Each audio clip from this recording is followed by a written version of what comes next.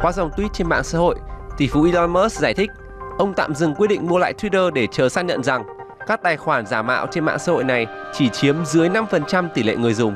Con số này do chính Twitter tính toán và công bố vào đầu tháng 5.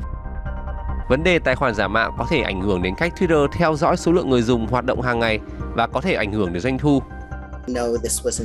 Elon Musk là bạn của người sáng lập Twitter. Tôi cho rằng ông ấy đã biết về vấn đề tài khoản ảo từ lâu rồi. Đây chỉ là cớ để Musk đạt được mục đích của mình một cách thuận lợi hơn nữa mà thôi. Quyết định trên đã khiến giá cổ phiếu của Twitter giảm hơn 17% xuống còn 37 đô la Mỹ một cổ phiếu, mức thấp nhất kể từ khi ông Musk có động thái thâu tóm mạng xã hội này.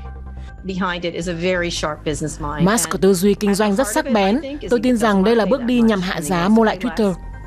Twitter và Musk thông báo đã đạt được thỏa thuận mua bán hôm 25 tháng 4 nhưng không đưa ra thời hạn cụ thể để hoàn thành hợp đồng và chỉ cho biết giao dịch dự kiến hoàn tất trong năm nay. Mức độ nghiêm túc của tweet trên cũng là câu hỏi mở vì tỷ phú này từng nhiều lần đăng những suy nghĩ bột phát của mình lên Twitter bên cạnh những kế hoạch đã được tính toán kỹ càng. Tuy nhiên, theo nhận định từ CNBC, việc hủy bỏ thương vụ mua lại Twitter sẽ không phải việc đơn giản đối với CEO của Tesla. Musk sẽ phải chi trả khoản phí bồi thường lên đến 1 tỷ đô la Mỹ và có thể đối mặt với vụ kiện vì vi phạm hợp đồng.